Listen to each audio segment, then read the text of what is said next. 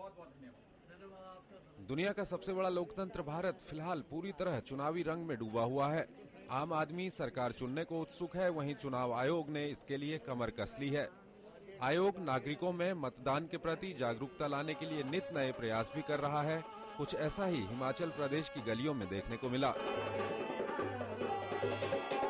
यहाँ चुनाव आयोग ने लोगों को जागरूक करने के लिए स्थानीय लोक नृत्य और गीतों का सहारा लिया है।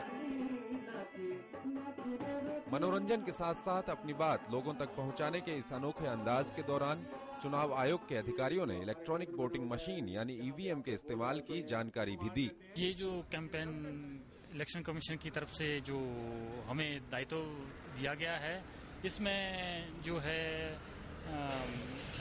पब्लिक को जो वोट का अधिकार है, उसके बारे में जागरूक करने के लिए पब्लिक रिलेशन की ऑफ़िस से संगीत के माध्यम से लोगों को जागरूक किया जा रहा है। वहीं इस मुहिम में शामिल कलाकारों का भी कहना है कि लोगों की भीड़ जुटाने के लिए लोक नृत्य और गीतों का सहारा लेना एक कारगर तरीका है। ज़रूरी है ये। क्योंकि जैसे गाँव के लोग नहीं जाते ज़्यादातर वोट डालने के लिए जैसे नुक्कड़ नाटक देख लेते हैं तो समझते कि हाँ नहीं ज़रूरी है वोट डालना हमारे लिए। गौरतलब है कि लोकसभा चुनाव के लिए कुछ ही दिन शेष हैं।